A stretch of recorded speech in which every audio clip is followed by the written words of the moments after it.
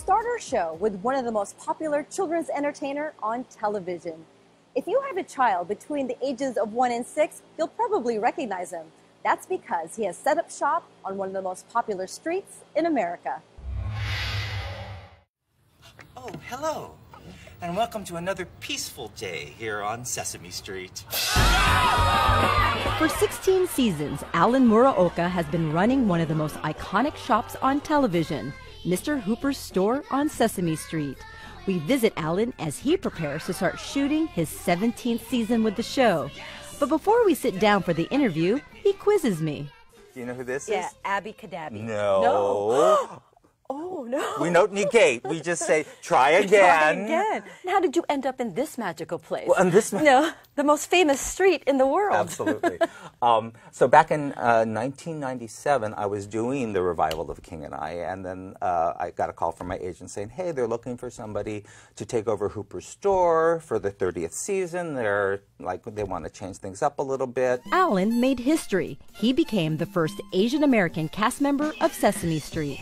I grew up with the show. I was I'm of that generation that uh, I was a latchkey kid, and so I watched it growing home. You know, with eating my Oreos, um, And you're- and drinking your Tang. And drink, absolutely. Oh yes, Tang. My very first day on set, the actress who plays Susan.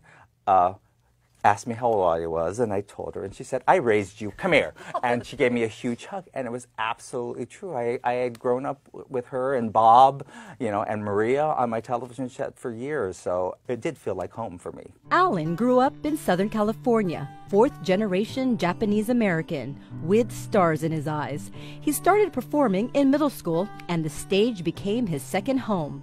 His big break came after a stint performing on a cruise ship after college. I just got off a cruise ship. I had worked for a year and a half to save money to move to New York. There was a call for a new musical that was coming to New York, and um, I was like, oh, "All right," you know. And they want specifically wanted an Asian American guy, and I've never done this before. But I sent my picture and resume to the theater uh, that was producing it, and I was like, "I am the guy that you want for this role."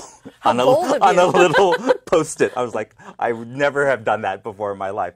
And, you know, and ultimately I got the part. So I guess they listened to that little post-it note. He starred in six Broadway shows since moving to New York in 1987. Most notably, he played the engineer in Miss Saigon. He was in the last revival of The King and I, and he starred in Stephen Sondheim's Pacific Overtures. Theater is his first love. Along with performing on stage, he directed several shows, including shows for nonprofits like the East West Players. Alan is a familiar face in the Asian American community, always lending a helping hand. In fact, You and I have co-hosted uh, events throughout, I, I won't say how long. Yeah, don't say that. Please don't reveal yes. that. and I love it, and I do love it. But it is his role as Alan the Grocer that has opened the doors to incredible opportunities. He performed at the White House, in the Macy's Thanksgiving Day Parade, and has performed with some of his favorite celebrities. When did it hit you that you were part of this iconic show? Oh, you know, it always surprises me when people, you know, when people come up to me. I, I, I remember uh, this was a few seasons ago. Sheryl Crow was on the show, and we're sitting. there, I'm like, oh, gotta get to meet Sheryl Crow, and she, and we walk up to each other, and she goes, I am so excited to meet you, and I was like, and I just sat there. I was like, what? this is not how it's supposed to go. I am excited to meet you. It's been an incredible run for Alan, and it continues with Sesame Street. More acting and directing, and he has a book coming out soon. If you could talk to your younger self now, that junior high school kid Yeah. with these big dreams, what would you say? Um, what would I say? Um, you're going to have a pretty good life. So, you know, it's coming. So just, you know, just wait for it. Calm down. Just calm down and wait for it because it's going to be pretty fun. Thank goodness you didn't calm down, though. That's true. Uh, I think he is saying, Welcome to Sesame Street. I'm Ernabel Demillo for Asian American Life.